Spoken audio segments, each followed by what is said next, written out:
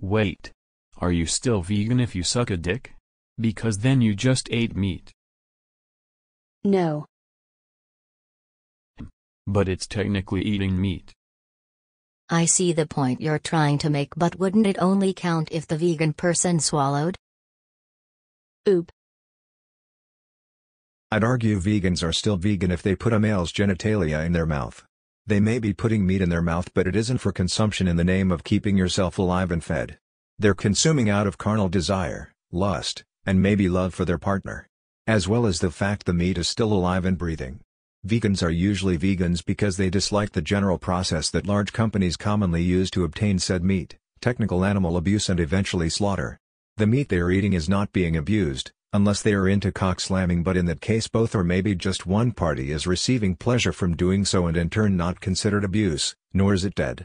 That is a basic rundown of why I think vegans are still vegans even if they swallow a man's genitalia.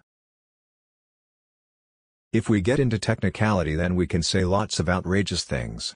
I technically committed three felonies but the police let me go due to circumstance and scrubbed the information from their database. I technically failed my license test yesterday because I ran a red light. In actuality I just got caught doing a normal thing many teenagers do and only went past the red light because it was a right turn and the guy in front of me ran it too making me think I could turn right. Life is full of technicality but that doesn't mean it's all set in stone.